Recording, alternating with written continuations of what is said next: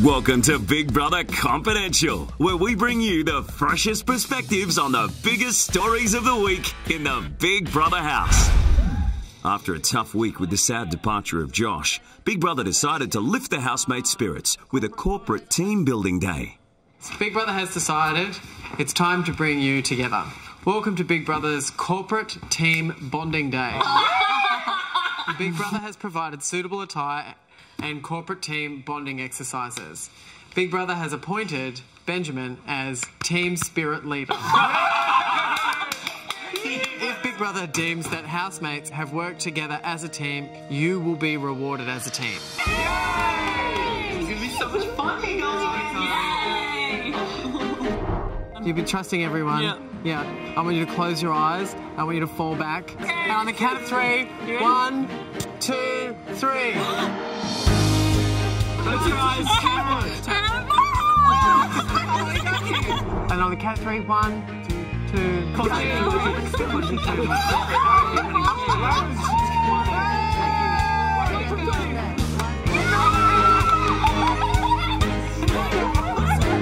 not giving up on yourself or your partner, working as a team, and just ultimately having faith in, in your teammates is, is what this is all about.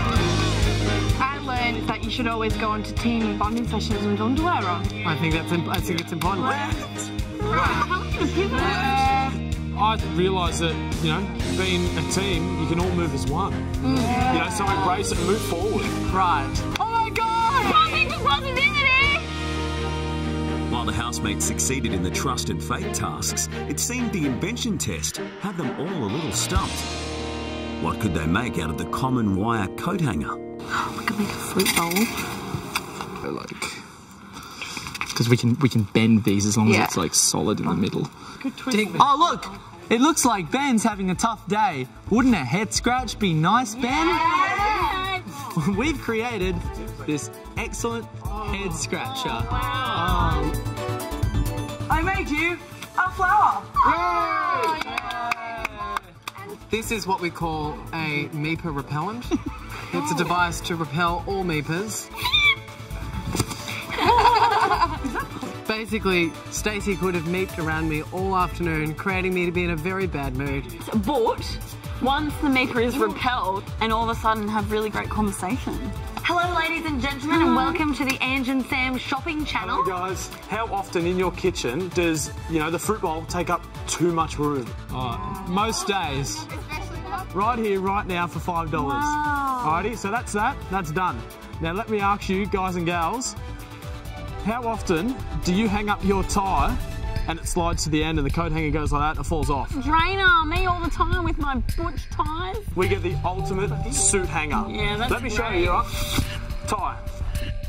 Right here, today, for ten ninety nine. Only $10.99. Does he come with a coat hanger? So for only $10.99, you get this beautiful suit hanger. Uh, as you can see, the Yeah, I can see. it not only holds ties, it also holds belts. then, but wait, there's more. Do your underpants also fit in this? Oh, drainer, not worth it. This is the ultimate business hanger. Ten ninety nine, right here, right now, for you. That's it. That's it. That's all you'll pay. Everything. This is Big Brother. The corporate bonding day has been a success. Oh, and housemates. Big Brother would like to purchase one of the business suit hangers. Would you accept payment in three easy installments?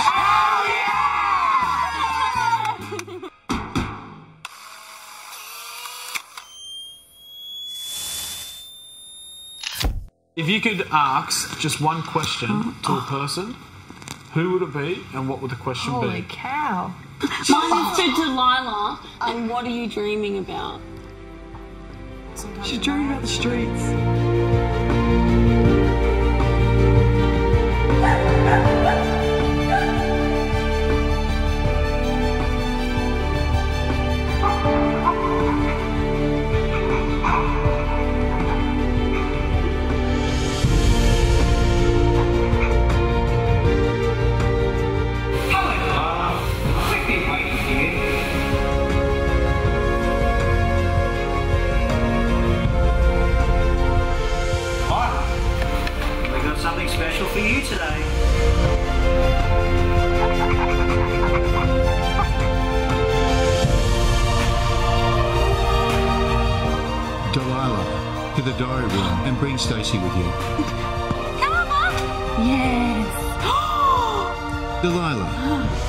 Special delivery came for you today from the butcher. I guess dreams can come true in the Big Brother house.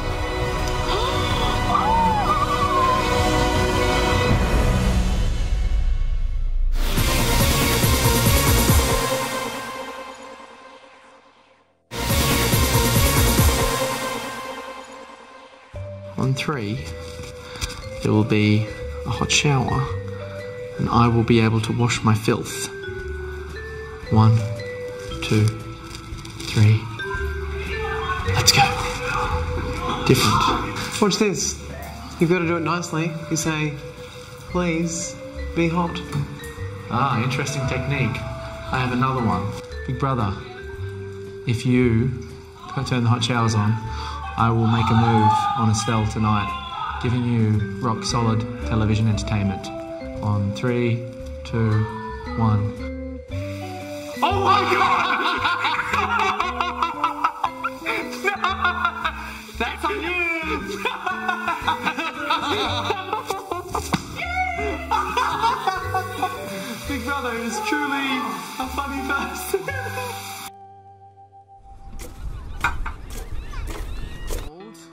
After the success of the corporate challenge, the housemates were in a trusting mood, enough to share some more information that the others might not know about them. So I'm going to say that I would only tell people that I trust that I wear makeup every day. Mm. Yeah, wow. yeah, I like that. One. And doesn't he look positively radiant? Yeah, he does. Yay, Sam. How are you? All right. I mean, it is something negative for the fact that mum had breast cancer, um, but something positive's come out of it and she's all clear.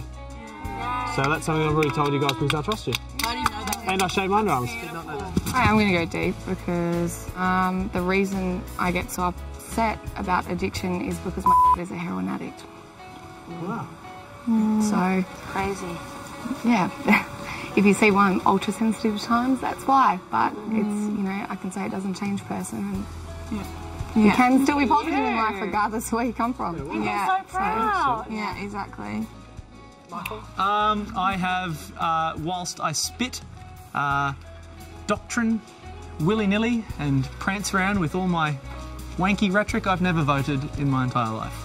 I guess mine would be as much as I um, put on the happy face and make sure that everyone else is okay.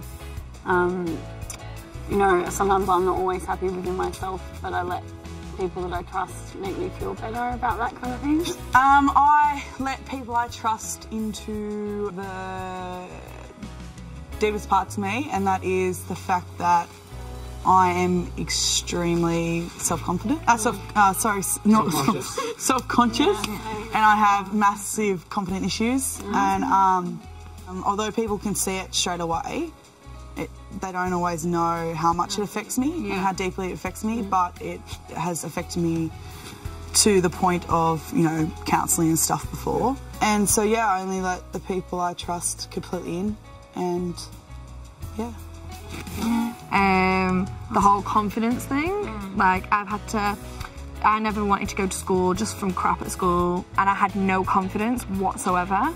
Like I was the most unconfident person. I wouldn't do anything out of my comfort zone. Mm. I tried to avoid situations just because I didn't want anyone to fuck at me. Mm. Now coming onto something like this has really helped me. Mm.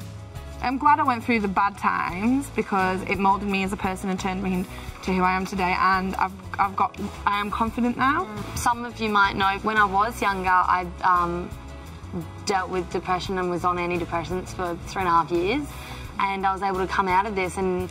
And being on this show for me is like, like I said to a lot of people, it's the icing on the cake. I've come a long way, and things are just starting to work out for me perfectly.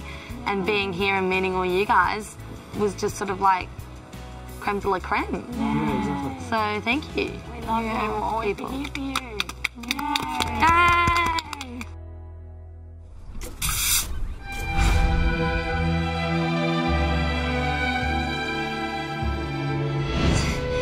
Cud cud. Cud cud is um, slang for cuddle.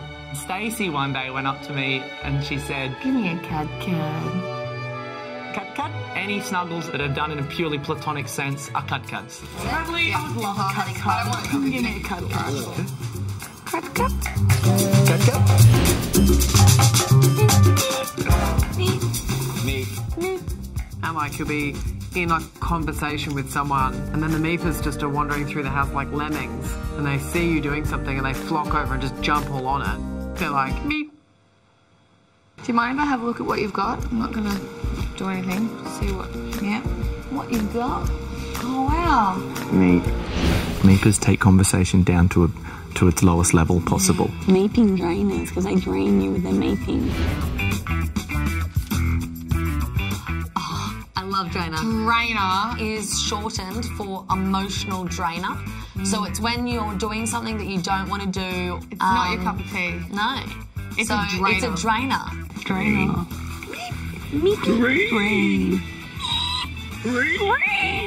Doing the dishes is a drainer for the fact that nobody likes to do it. Today's just been an absolute ridiculous drainer day. When it's bigger than crazy, you go, whoa, that is cray Cray cray. Yeah, I think you're going cray cray. Oh, no, come on, repeat after me. You're a little bit oh, cray cray. So if Big Brother were to say housemates are going cray cray, that would make sense. Yeah. Well, there's nothing quite like a low sensible heel, and I think the ladies of Australia will agree there. I really love that low sensible heel that you're rocking. Low sensible heel means that you've got heel support. Just put on your low sensible heels. You like my low pink sensible heel? A, a low sensible heel is always always the key. How about the term ruffle toffle? Oh, okay, ruffle. Ruffle stands for rolling.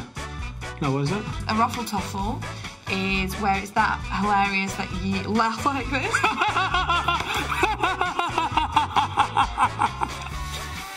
uh, uh, and get the ruffle toffle on. Uh, uh, get your ruffle toffle on. I think ruffle stands for. Gee, I don't even know. Isn't it rolling on the floor laughing? Yeah.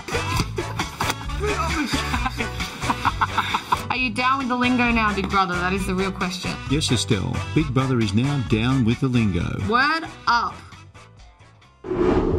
To save Zoe, call 1902 559514. SMS Zoe to 199 or vote on Facebook. To save Angie, call 1902 559501. SMS Angie to 199 or vote on Facebook.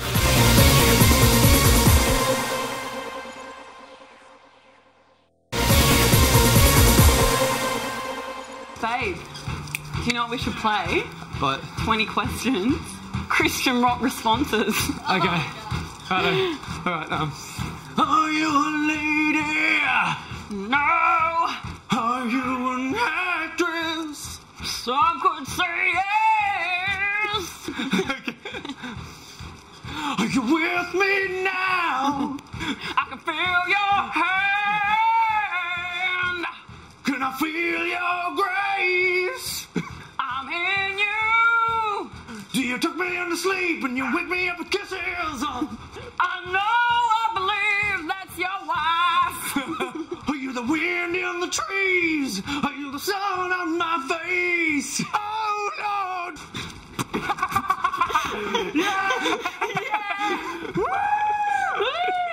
Where goes? Did anyone just see God getting back at me? Sorry, big fella. You're all going to hell. Earlier in the show, Benjamin revealed he wears makeup every day, which prompted a discussion on whether it should be socially acceptable for all men to do it. I know for me, sometimes people say, "Oh, you wear makeup, so that might, that's a sign of insecurity." I would say I started in 2001, so yeah, that's 11 years of wearing makeup every day. But I used to go to work thinking, "I hope no one notices. I hope no one notices. I hope no one notices," and be like, have a lot of anxiety. Yeah. But my mum, who had known me my whole life, she didn't know that I was wearing it. I would wear makeup if it were deemed socially acceptable. I was talking with Josh how we think it is ridiculously unfair that girls change into these completely different people when they go out. Yeah. And I'm like, we're just stuck with what we have. We have to work on our personalities. My the boys that I live with wear um, makeup when they go out, and that's because I've like pushed it. Like if they've got a pimple, I'll put concealer on it and I'll bronze their faces before they go out, and they will look like hot to trot, and they'll be like, "Yes, this is what I'm going to do." And now we all do it. It needs to move to the next stage where I think people are aware of the fact that so many men are wearing makeup and that it becomes sort of normal, like socially accepted.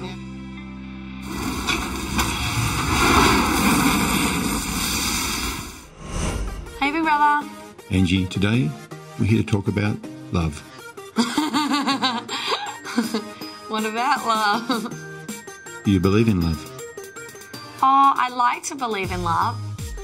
I'd, I'd like to find love. Every now and then you might get the fairy tale. And that's probably the reason why I'm going to be chronically single for the rest of my life. When I go out, I'm not looking to meet anyone, and I usually don't just because I'm too busy out having fun with my girlfriend and doing what I want to do, not what I think guys want me to do. And I think more girls should strive to do that. What about you, Ange? What's your perfect man? I honestly don't have a type, but I think I just would love to find someone who liked me equally as much as I liked them. Like Yeah. my dad always said never to settle for second best. Same. My dad said never settle for second best, but then again, he always said look at his bank account first. Uh, Which I don't. Which you don't, but yeah. I'm so sick of dating little boys. I want a man. Like, I want us to both wake up every morning going, How the hell did I get you? Yeah. But it seems Angie's dating insecurities may be getting in her way. The thought of not knowing someone and going on a date with a complete stranger terrifies me. I'm a real dork when it comes to like flirting. Like I'm a really flirty person, but like I'll like punch you or something like that. But like that's just me being like. hello, four-year-old. no, no, no. But that's yeah, that's it. Like I've been in two long-term relationships. I don't know how to be single. I want the fairy tale. I want the fairy tale so badly, and I think I probably want the fairy tale almost too badly because I feel like the more I want it, the less I'm going to get it. Oh, they are. Angela will allow Big Brother um, to keep his eyes out uh, for any Prince Charmings that he might know or see or, you know, pick up on. They are a rare beast. They are a rare beast. I need to catch myself one of them. To save Benjamin, call 1902 559502, SMS Benjamin to 199 55999 or vote on Facebook. To save Estelle, call 1902 559505, SMS Estelle to 199 55999 or vote on Facebook.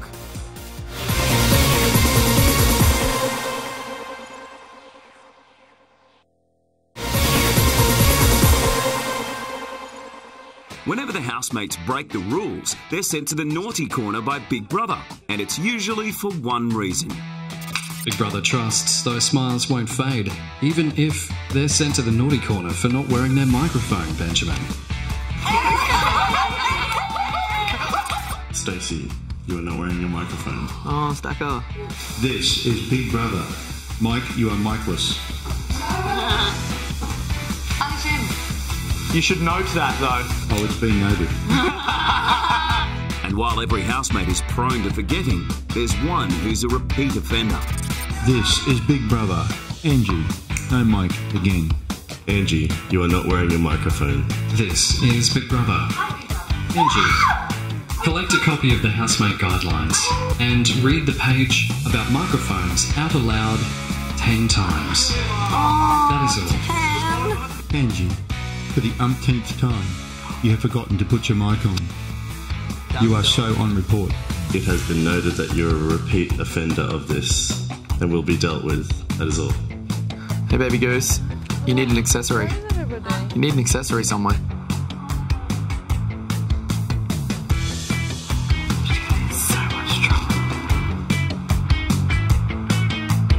This is Big Brother. Angie. Angie, you are too late. It has been noted. You're not wearing your mic.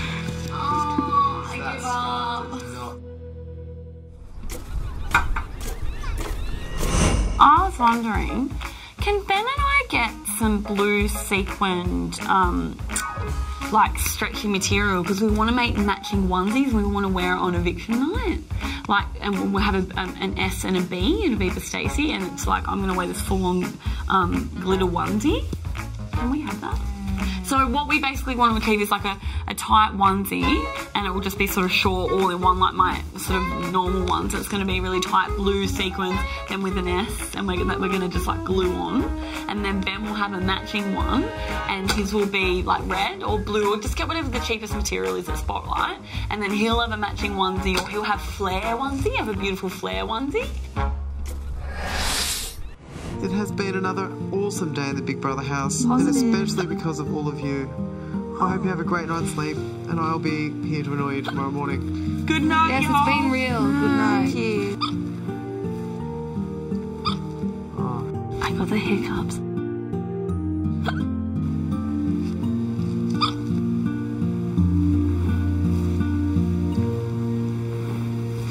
I got the hiccups, and Estelle hasn't seen you do the scary face yet. And I was saying, if you were to come out and do the scary face, I can't do it to you with you knowing.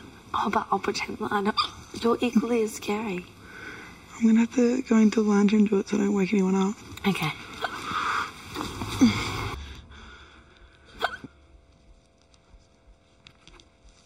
I can't see. Watching?